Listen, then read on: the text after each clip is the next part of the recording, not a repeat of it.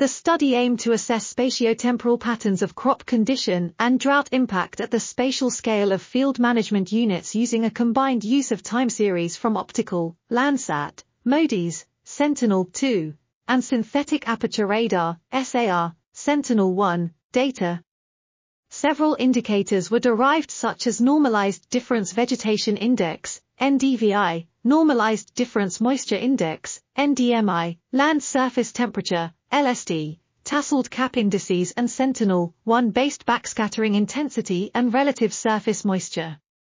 The parameters with the highest prediction rate were further used to estimate thresholds for drought, non-drought classification. The results revealed that not all remotely sensed variables respond in the same manner to drought conditions, and growing season maximum NDVI and NDMI, 70 to 75%, and SAR-derived metrics, 60%, reflect specifically the impact of agricultural drought. LST was a useful indicator of crop condition especially for maize and sunflower with prediction rates of 86% and 71%, respectively. The developed approach can be further used to assess crop condition and to support decision-making in areas which are more susceptible and vulnerable to drought.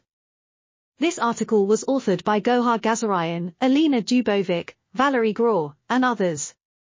We are RTCL.TV, links in the description below.